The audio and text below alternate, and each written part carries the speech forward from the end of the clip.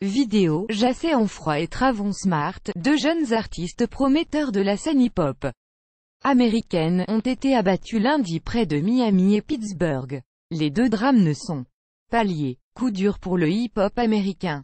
Deux jeunes rappeurs prometteurs ont été tués par arme à feu lundi après-midi. Le sulfureux XXX Tentation, 20 ans, a été assassiné près de Miami. Quelques heures plus tard, le MC Jimmy Wopo, étoile montante du rap âgé de 21 ans, perdait la vie dans une fusillade en Pennsylvanie. Les deux drames sont pas liés. Originaire de Floride, le rappeur XXX Tentation a été abattu en pleine journée. À Deerfield Beach, une ville au nord de Miami, la victime adulte masculine est bien Jassé en froid, 20 ans, aussi connu comme le rappeur XXX Tentation, a écrit le service du shérif de Broward sur Twitter, après avoir indiqué sur le réseau social que la victime était morte lors d'une fusillade. Selon le site d'information People TMZ, un appel téléphonique a été passé dans l'après-midi au service de police pour signaler que deux assaillants en Cagoule venait de voler un sac Louis Vuitton du véhicule du rappeur, avant de repartir. Dans leur SUV noir, lire aussi, mort du rappeur américain Bankroll Fresh, assassiné.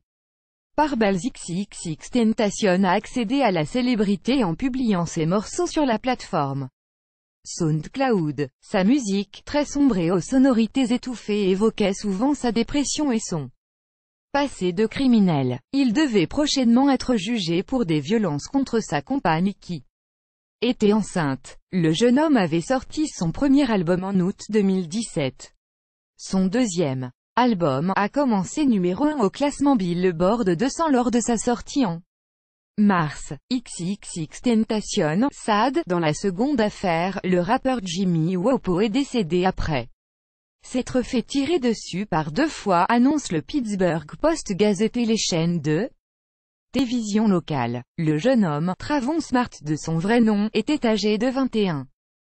Il était considéré comme une étoile montante du rap à Pittsburgh, sa vidéo Elm Street de 2016 avait été vue plus de 6 millions de fois sur YouTube. J'ai perdu un frère aujourd'hui, a déclaré son manager Taylor Maglin sur Facebook. Il était destiné à faire de grandes choses et voulait le meilleur pour ses amis, sa famille et sa communauté, Jimmy Wopo, Elm Street.